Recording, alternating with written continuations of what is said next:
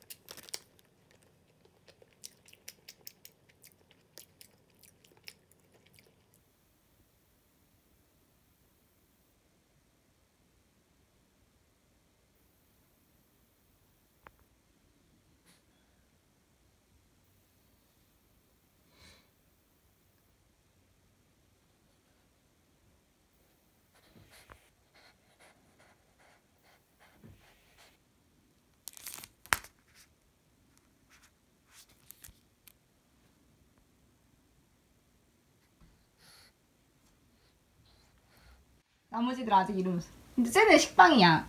얘는 아직 안 줬어.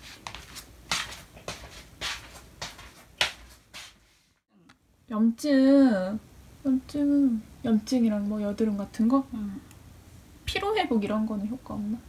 그건 거의 비타민 쪽 아니야?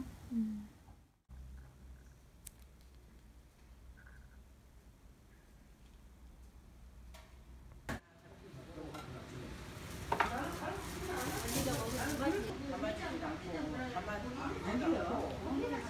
나 언니가 저기 보내다. 거기에서